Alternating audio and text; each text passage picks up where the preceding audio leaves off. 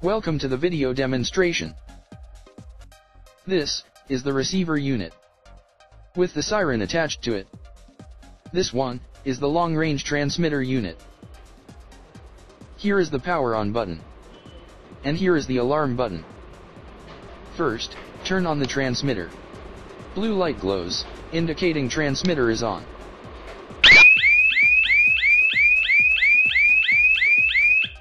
Turning on the alarm button activates siren.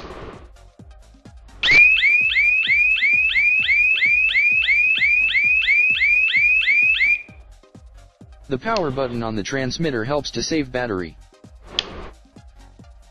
It is recommended to turn off the power otherwise.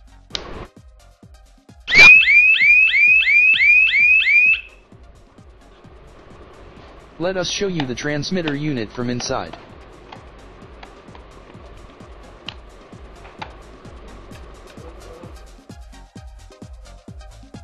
It works on three numbers of triple A batteries.